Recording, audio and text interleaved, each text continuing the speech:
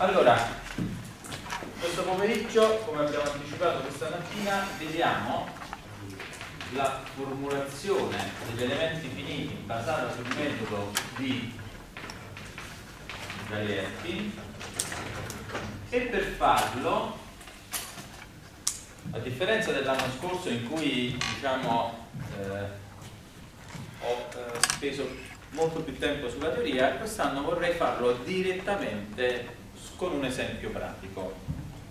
Chiaramente parliamo di un esempio monodimensionale, in particolare andiamo a vedere il profilo eh, di temperatura lungo la letta, cosa che abbiamo fatto per differenze finite, gruppi finiti e a questo punto non possiamo che farlo anche per gli elementi finiti.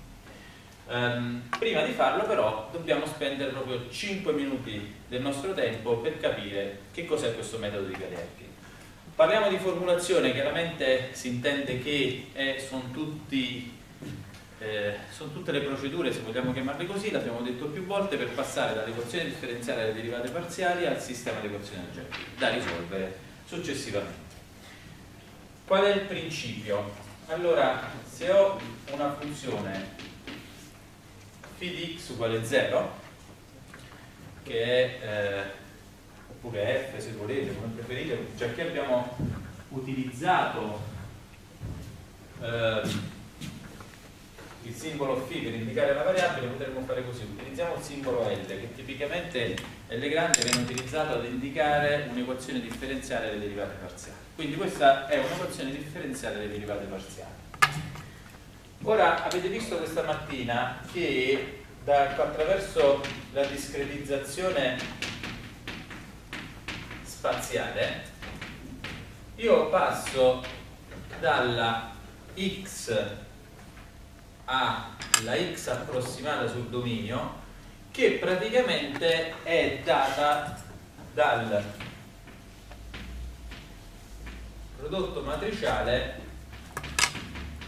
di n x con y dove n sono le funzioni di forma l'abbiamo visto questa mattina ed x con y sono i valori notari Bene.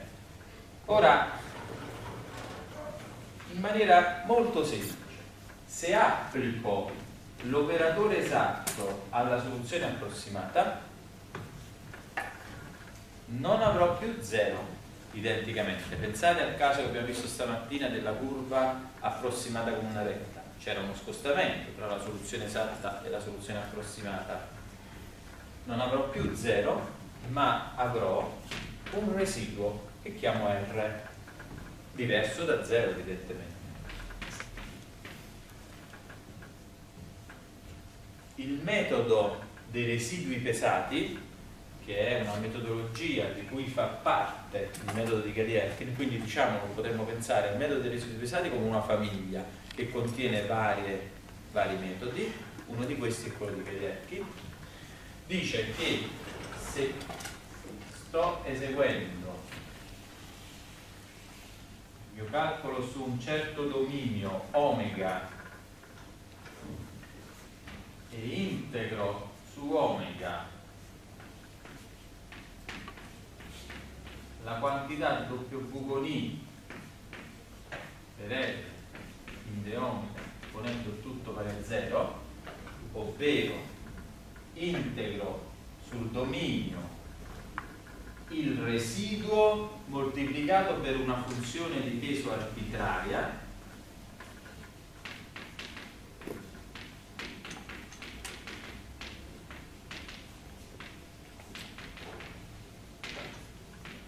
ponendo il tutto uguale a 0 ottengo la mia formulazione allora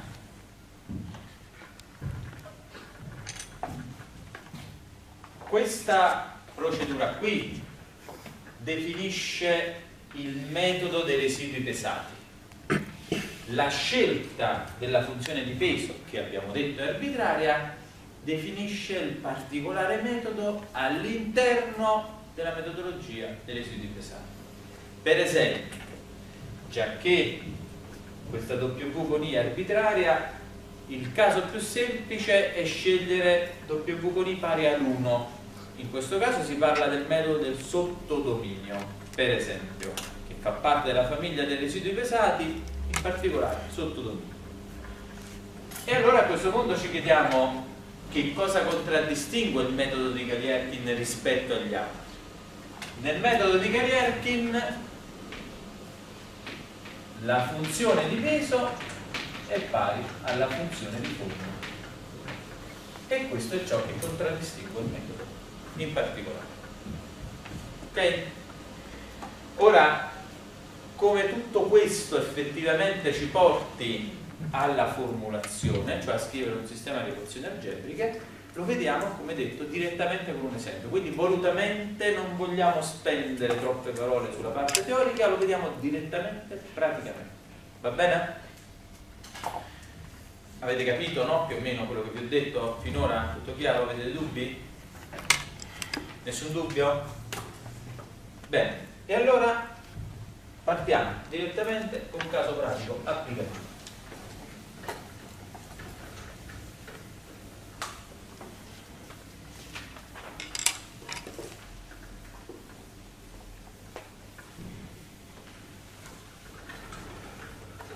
Abbiamo detto che andiamo a studiare il profilo di temperatura lungo una rete. Di conseguenza stiamo parlando di un problema che conosciamo benissimo a questo punto, una retta a sezione costante lunga L con estremità diabatica quindi qui avremo dt su dx pari L uguale 0 quindi questa è una delle condizioni al contorno. L'altra condizione al contorno è d di 0 uguale t con S. Ovviamente la letta magari potremmo ritenere che sia a sezione circolare quindi questa è la nostra x che purtroppo è andata a finire sopra la condizione al contorno va bene allora sistemiamo. Quindi qui avremo il p su dx x variabile uguale a 0 benissimo questo è l'asse x con origine evidentemente in corrispondenza della superficie di base e la letta si trova immessa in un fluido a temperatura T infinito con un coefficiente di scambio H Conosciamo già le equazioni, inutile star lì di nuovo a ricavarle, eccetera.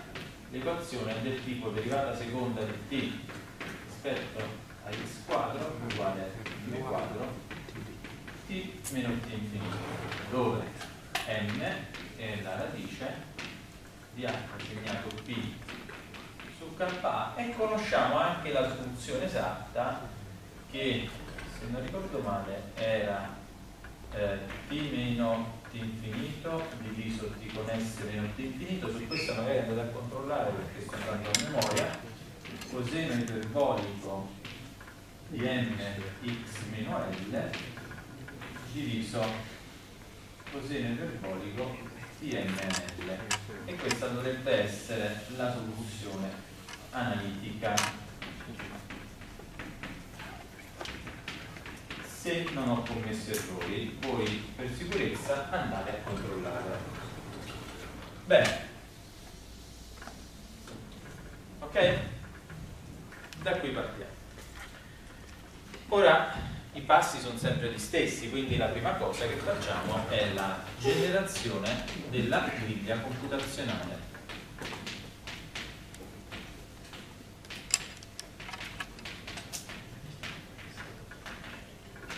Per nostra semplicità realizziamo una griglia uniforme quindi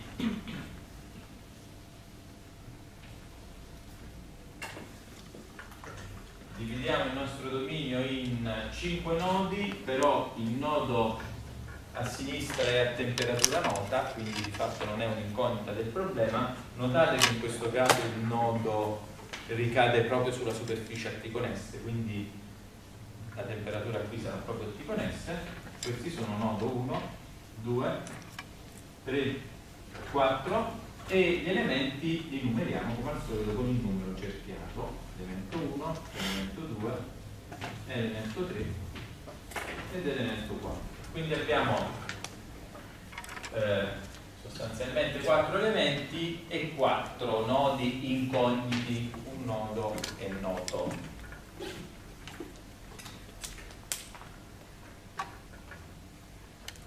E a questo punto possiamo iniziare ad applicare il metodo. Allora, iniziamo. Quello che dobbiamo fare è integrare, nel nostro caso un integrale di linea, utilizzando una funzione di peso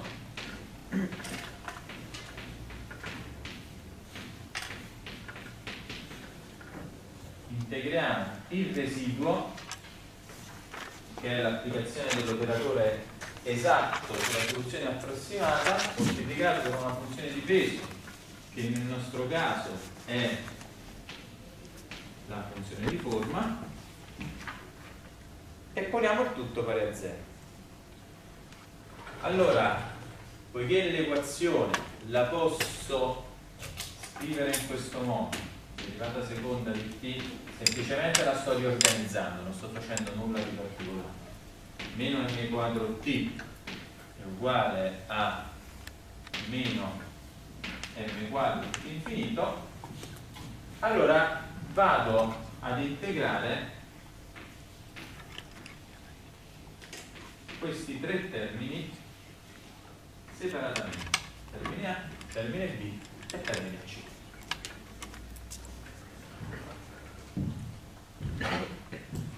Iniziamo dal termine A.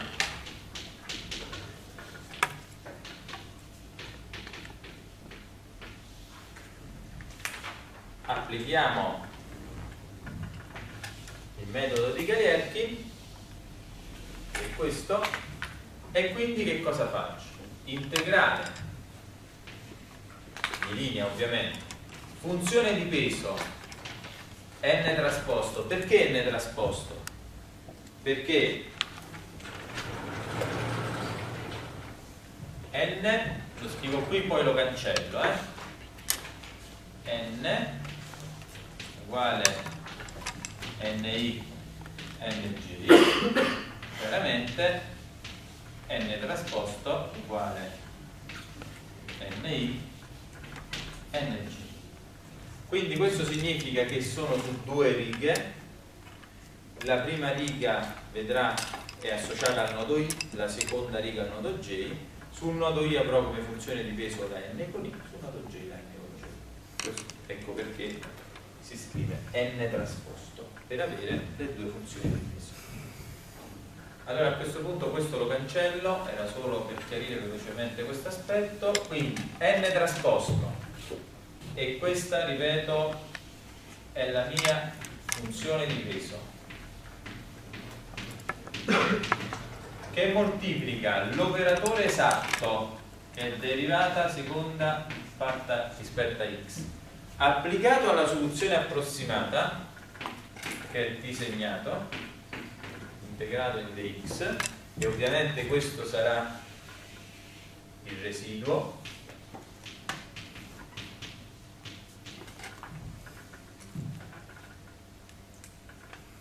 il tutto diventa.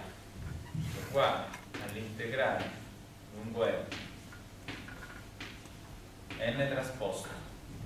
Ora la derivata seconda la applico alla funzione di peso perché sappiamo lo scrivo qua che il disegnato è uguale ad n per t.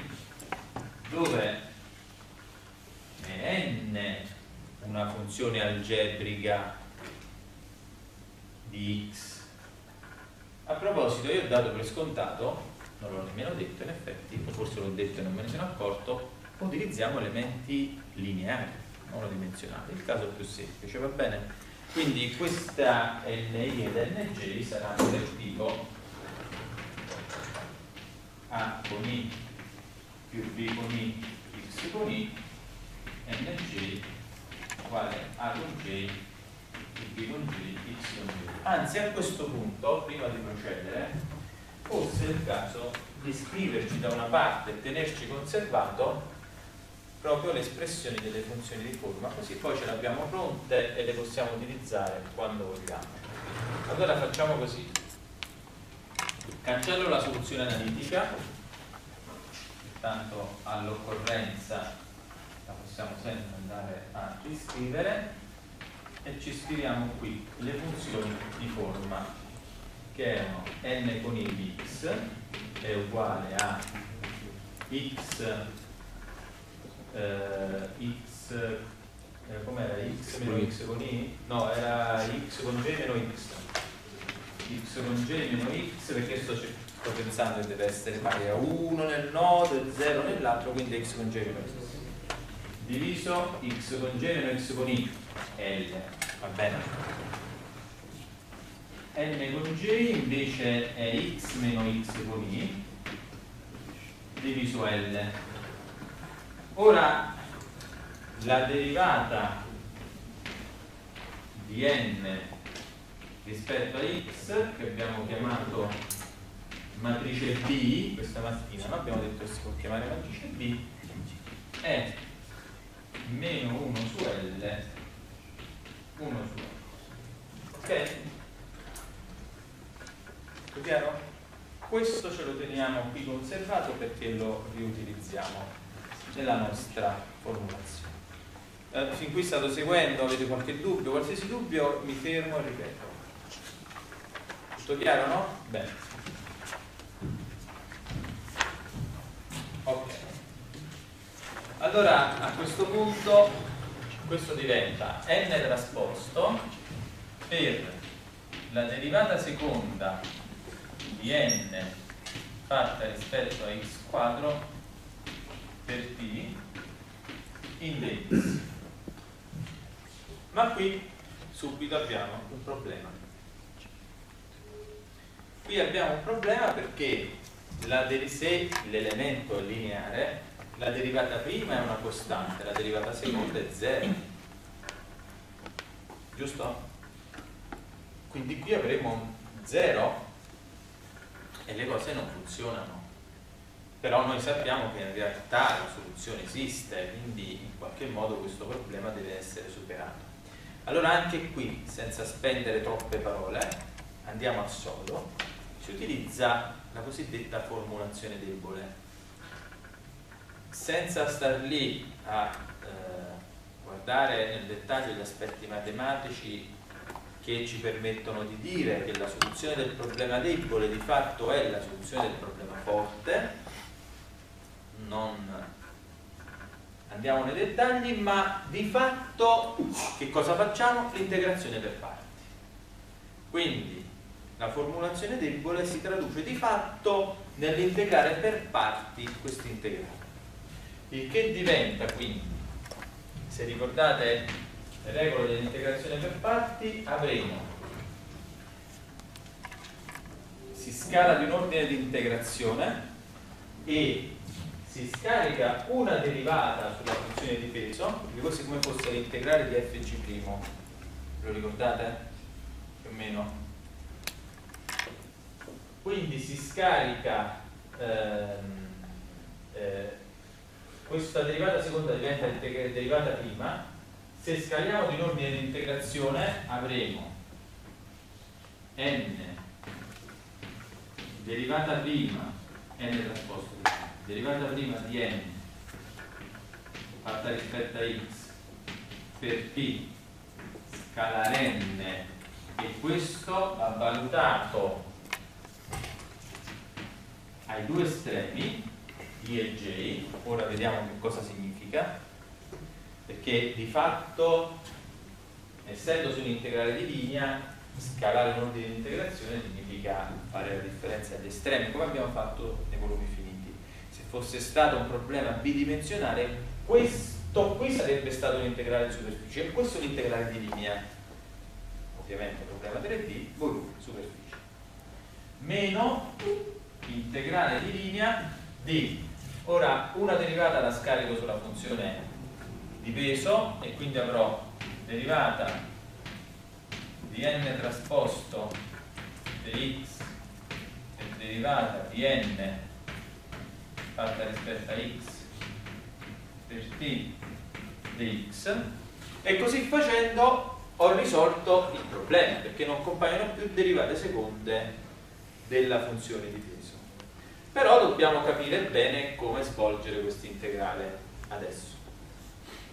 Ora se ragioniamo sul generico elemento ij in questo modo qua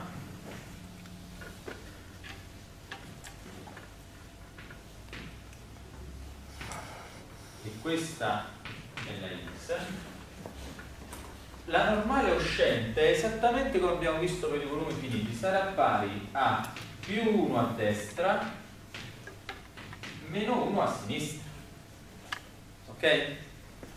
quindi questo significa che quel termine, il primo termine diventa una differenza valutata di una differenza tra cosa? tra tutta questa quantità valutata all'estremo destro meno la stessa quantità valutata all'estremo sinistro ok?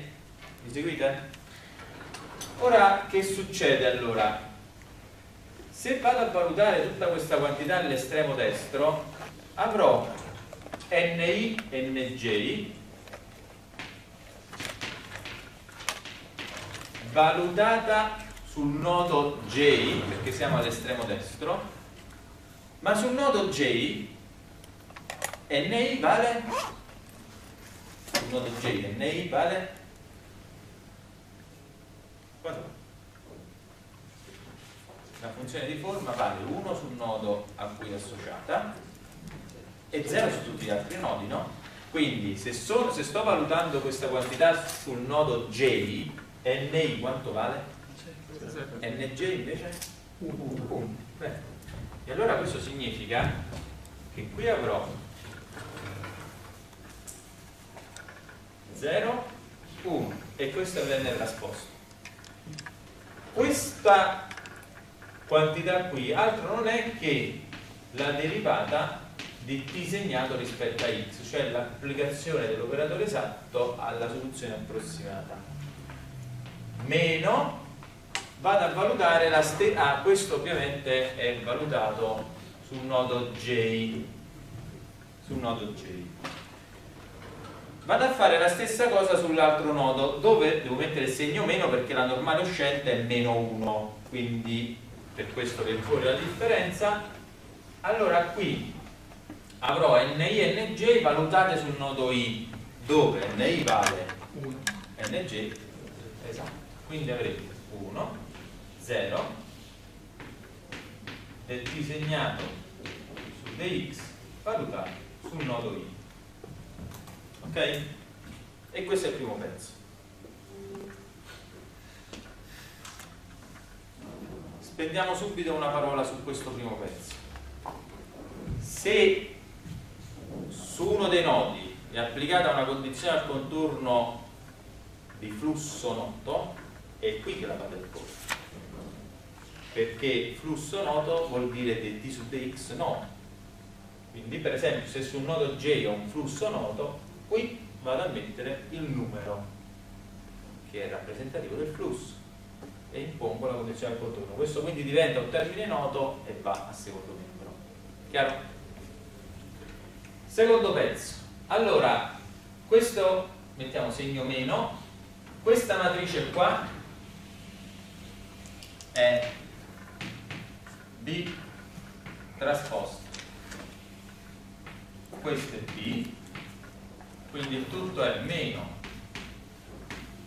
B trasposto B B è 1 meno 1 su L 1 su L quindi è una costante la porto fuori dal segno di integrale ma anche i valori nodali li posso portare fuori dal segno di integrazione. Quindi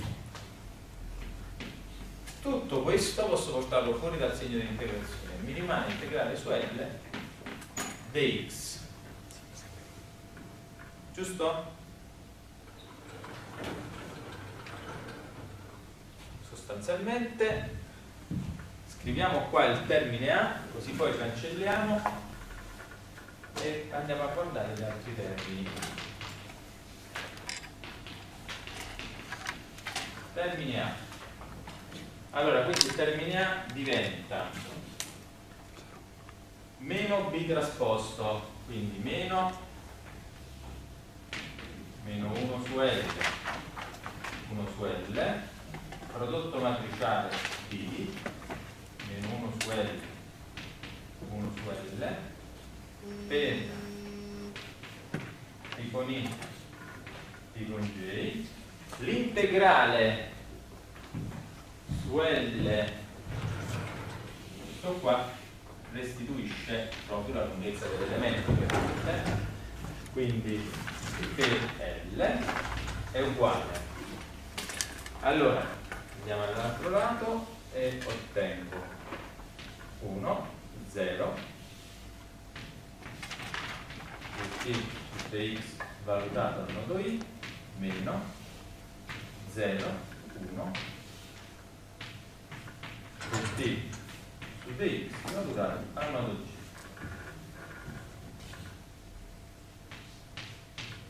se faccio questo prodotto matriciale qua. Ora lo scrivo qui a destra e poi lo sostituiamo lì. Il prodotto matriciale lì è meno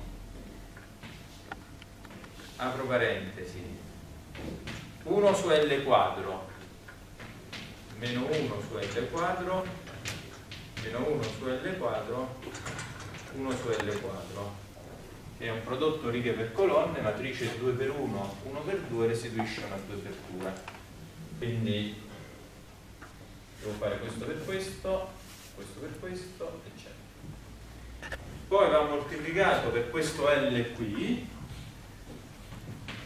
quindi il tutto è pari a 1 su L che moltiplica meno 1, 1, meno 1, 1 avendo ovviamente messo in evidenza 1 su L positivo ci siete?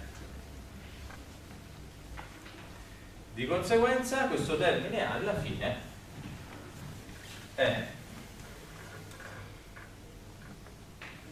1 su L meno 1, 1, meno 1, 1.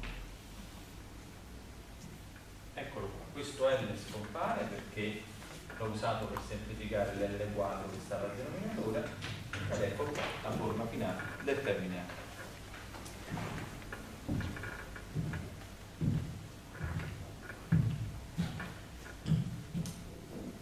chiaro dubbi? Domande? È un pochino più complicato degli altri metodi, però se avete qualsiasi dubbio chiedete, ripeto.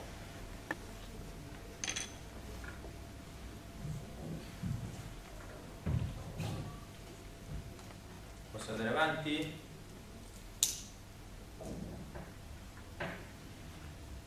Allora, questo lo possiamo cancellare sicuramente.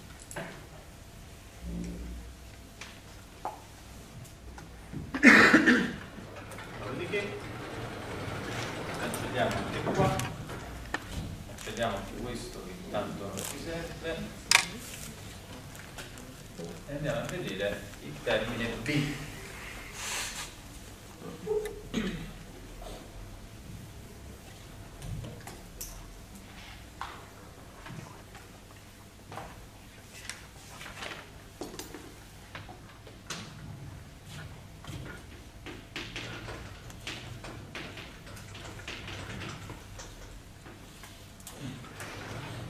Allora, il termine B è, lo prendo con segno positivo, m quadro lo posso portare fuori dal segno di integrale,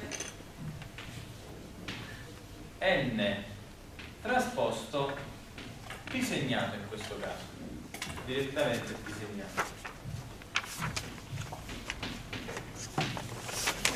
Eccolo qua.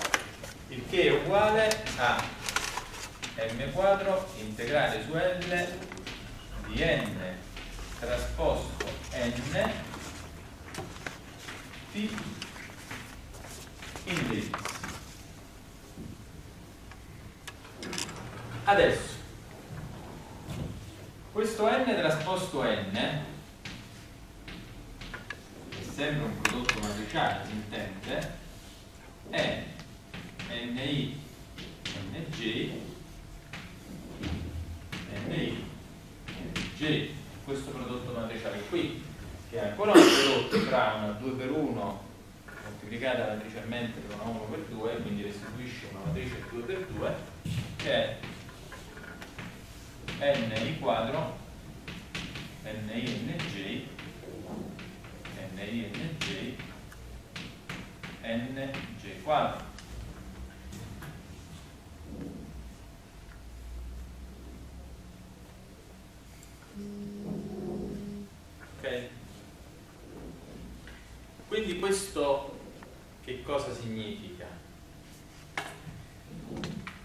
cancellare però queste cose che ho appena scritto quindi aspetto un attimo. Poi la riscrivo però questo momento la devo cancellare. Allora quindi questo che cosa significa? significa che il tutto è pari a m quadro. Dopodiché ho di fatto questa matrice integrale su L di n quadro di x integrale su L di ni nj di x chiaro che questa è una ni di x ni di x nj di x ovviamente no? io non lo sto riscrivendo ma è così ni nj di x integrale su L ng quadro di x e poi qui abbiamo Con I, con G. A questo punto, questa mattina, ricordo di avervi detto una cosa, e cioè le funzioni di forma, o funzioni di base, o chiamano, possono essere chiamate in vari modi, io le chiamo sempre funzioni di forma, o funzioni interpolanti, quello che volete, sono di fatto arbitrarie, no? Ricordate, ve l'ho detto questa mattina? Però si scelgono algebriche perché facilmente integrabili e derivabili ed ecco perché adesso per esempio le dobbiamo integrare. Allora, quando si scelgono delle funzioni di forma algebriche di tipo, diciamo così, noto direi, no? Se è lineare A più BX, non è che mi invento funzioni di forma particolari, allora sui libri, su diciamo, in letteratura sono già disponibili delle formule già pronte per l'integrazione. In particolare queste formule le scriviamo da una parte, le scriviamo qua o le mettiamo da una parte dove possiamo conservarcele, ma spazio è finito, quindi le mettiamo qua, vai. Allora, se faccio un integrale su una superficie di ni alla NG alla D, NK alla C, e ovviamente questo è un integrale di per esempio sto su un elemento triangolare, per esempio, allora questo sarà pari ad A fattoriale, B fattoriale, C fattoriale, che moltiplica due volte l'area dell'elemento, diviso A più B più C più 2 è tutto fattoriale. Se invece, ora passo la lavagna, devo fare un integrale di linea ni alla A, ng alla b in dx, questo sarà pari ad A fattoriale, B fattoriale per la lunghezza dell'elemento L diviso A più B più 1 in tutto fattoriale. Eccole qua. E queste relazioni qua mi permettono di calcolare ognuno di questi termini qui. Perché è chiaro che ricado nelle varie forme di integrazione scegliendo opportunamente A, B nel nostro caso, oppure A, B e C nel caso bidimensionale, ovviamente ce n'è anche una per il caso tridimensionale, no? dove compare 6 volte il volume e c'è un'altra NK NM qui viene A, B, C, D, 6 volte il volume, A più B più C più 6, eccetera. Allora, la, il primo integrale, questo qua, che poi sarà, darà lo stesso risultato di quest'altro, quindi termini sulla diagonale, li ottengo ponendo per esempio a pari a 2 e b pari a 0 nella formula di integrazione. Alzo la lavagna e poi la riabbasso, meglio. Quindi ponendo a pari a 2 e b pari a 0 ottengo l'integrazione dei termini sulla diagonale che dà come risultato 2 fattoriale che fa 2 per 0 fattoriale che fa 1 per L quindi il numeratore è 2L il denominatore è 2 più eh, 0 più 1 fa 3 fattoriale che fa 6 ok quindi abbiamo 2 L, eh, 2 L sesti, quindi L terzi. Bene? Ci siete? Mentre i termini fuori diagonali, diagonale si ottengono ponendo A pari a 1 e B pari a 1 il che restituisce 1 per 1 per L, quindi L il numeratore, e il denominatore è 1 più 1 più 1 che fa sempre 3, fattoriale che fa 6. Quindi abbiamo 2L sesti ed L sesti. Ok? Questo significa che posso mettere in evidenza appunto L sesti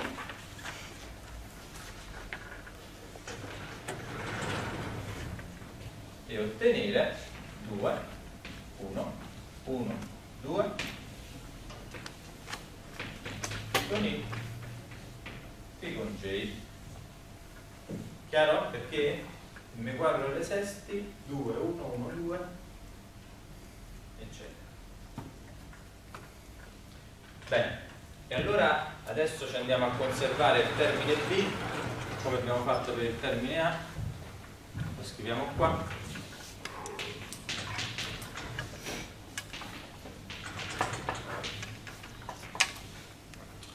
Termine B è pari a m quadro L sesti 2, 1, 1, 2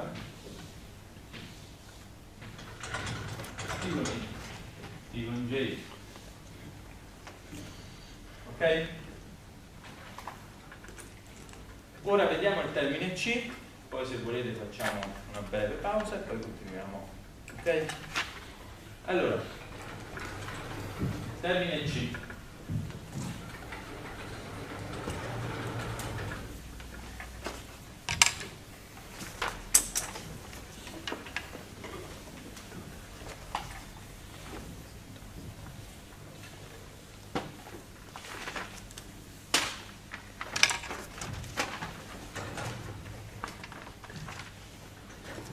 Allora, sul termine C m quadro integrale su L di n trasposto t infinito è una costante quindi lo porto fuori dal segno di integrale n trasposto dx quindi è uguale m quadro t infinito integrale su L n dx integrale su L nj dx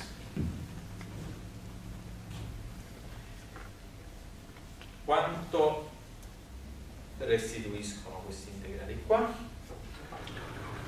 lo vediamo subito passo la lavagna andiamo a guardare qui sulla sinistra è sufficiente porre a pari a 1 b pari a 0 quindi al numeratore avremo l al denominatore avremo 1 più 0 più 1 che fa 2 fattoriale che fa sempre 2 quindi l mezzi quindi tutto uguale a m quadro di infinito l mezzi 1 1 guardate questa cosa in realtà mi dice che questo termine sorgente, termine sorgente si distribuisce equamente sui due nodi quindi immaginate questo elemento generico così I e J in cui entra o esce una certa quantità e che cosa fa? Si distribuisce per metà sul nodo e per metà sull'altro nodo.